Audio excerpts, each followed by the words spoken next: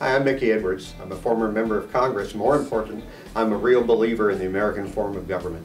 And one thing that's really unique about this form of government is that we don't protect the government from the people. We protect the people from the government. And that means giving people who have an interest in what government does, who could be hurt by government or uh, government could, could serve them uh, a little better, a chance to make their voices heard. And I'd like to come talk to you about that.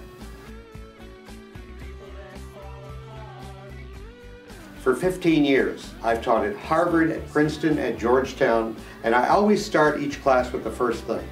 I write the word passion on the board, and I tell students, and I tell other faculty members, that changing your society comes from your heart and your passion. And I follow the advice of a British writer named Bernard Crick, who wrote a book called In Defense of Politics, in which he said, politics is the way a free people govern themselves. That's what we need to learn. One of the things I've written about and very passionate about is giving people in our communities, our society, in business, in advocacy groups, in, in uh, all kinds of organizations who can be affected by government, a chance to be heard, a chance to have a place at the table, a chance to be able to organize with other people, frame their messages so that people in government take their views seriously.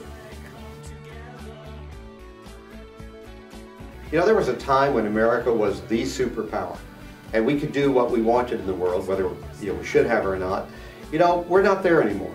There are other major powers. There are a division of, of abilities, whether it's economically, militarily, trade, uh, what we need to do as a country is to improve our ability to interact with the rest of the world because from here on, it's interdependence, it's not independence.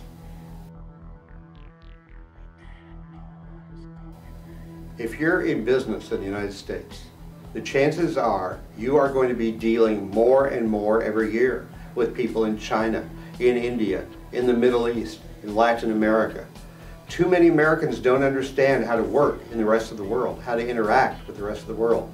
You know, that leaves you far behind in the global trade uh, if you can't learn how to be a player in the global economy that now exists.